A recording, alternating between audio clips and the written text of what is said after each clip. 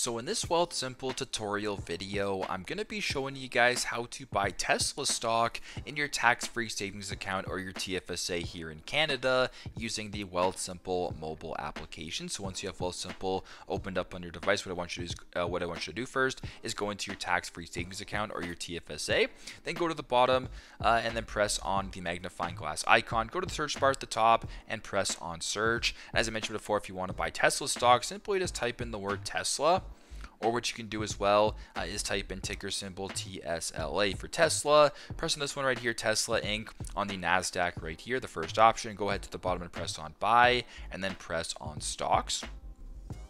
Now, if you wanted to buy into your TFSA account, just go to the bottom here for me and press on where it says TFSA and then press on next and type in the amount you wish to buy. So for me, it's a fractional buy, but if you want to do a market buy or a limit buy or a stop limit buy or a recurring buy, you can select whatever option you want. But for demonstration purposes, we're just going to go ahead and stick with fractional buy. I'll just do $1 for simplicity's sake and press on continue.